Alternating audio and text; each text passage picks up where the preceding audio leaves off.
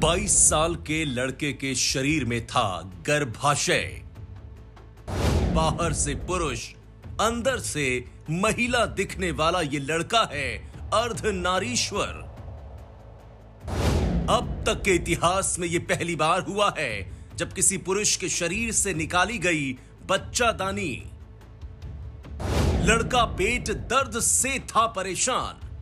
Doctor ने जाँच की तो लड़के के अंदर महिलाओं वाली क्षमता देखकर रह गए हैरान। झारखंड से एक अचंभित करने वाली खबर सामने आई है, जहाँ एक 22 साल के लड़के का ऑपरेशन किया गया है।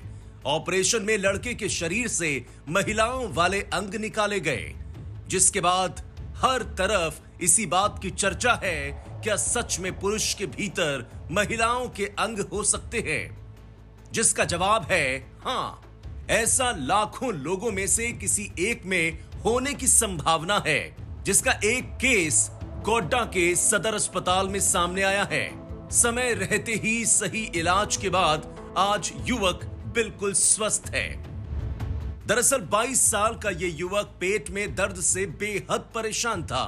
वो लंबे समय से गोड्डा सदर अस्पताल में इलाज के लिए पहुँच रहा था, लेकिन उसके दर्द की सही दवा नहीं मिल पा रही थी।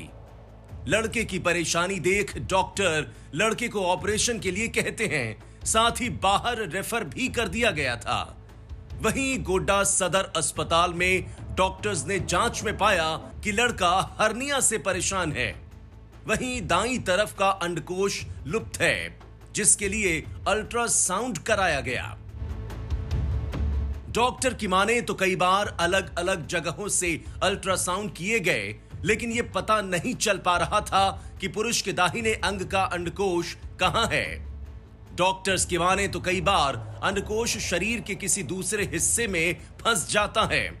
यही कारण है कि लड़के को बाहर रेफर कर दिया गया था।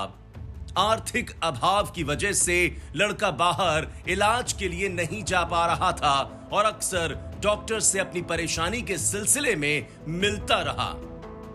लड़के को बचपन से हरनिया था, जिस वजह से वो दर्द में था। आखिरकार लड़के ने गोड्डा सदर अस्पताल में अपना ऑपरेशन कराया।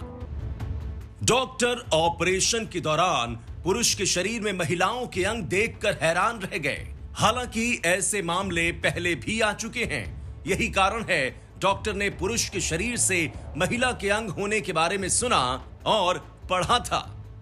22 साल के युवक का सफल ऑपरेशन किया गया। लड़के के शरीर से गर्भाशय, अंडाशय और फेलोपियन ट्यूब निकाली गई। ये महिलाओं के प्रजनन अंग हैं, जिसे लड़के के शरीर से निकाला गया। ऑपरेशन करने वाले डॉक्टर ने बताया कि ऐसा लाखों में किसी एक पुरुष में देखने को मिलता है। उन्होंने अपने मेडिकल करियर में ऑपरेशन पहली बार किया है।